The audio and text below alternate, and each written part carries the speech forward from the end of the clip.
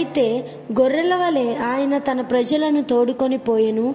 ఒకడు మందను నడిపించినట్లు అరణ్యములో ఆయన వారిని నడిపించెను. కీర్తన డెబ్బై ఎనిమిది యాభై రెండు.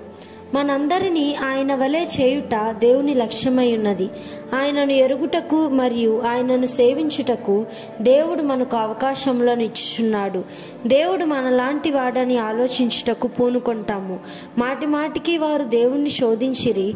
మాటి మాటికి ఇస్రాయేలు పరిశుద్ధ దేవునికి సంతాపం కలిగించిరి. మనము విధేయులము కాము. కాబట్టి దేవుణ్ణి మనం పరిమితం చేయుచున్నాము. విధేయత చూపుచు సిద్ధముగా ఉన్న బిడ్డ ఎక్కువ అవకాశం దోషములు కలిగి ఉండును. లోతు దేవునికి విధేయత చూపలేదు. అతడు దేవుని ప్రత్యామ్నాయాలను చెప్పుట మొదలుపెట్టాడు. ఆ విధముగా అతడు తన్ను తాను మరియు తన బిడ్డలను నాశనం చేసుకున్నాడు. ఆయన వలె గొప్పవారిగా మనలను చేయాలని దేవుడు కోరుచున్నాడు.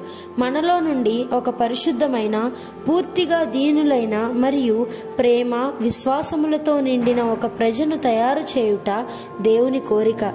మనం ఇష్టపడుచున్నామా?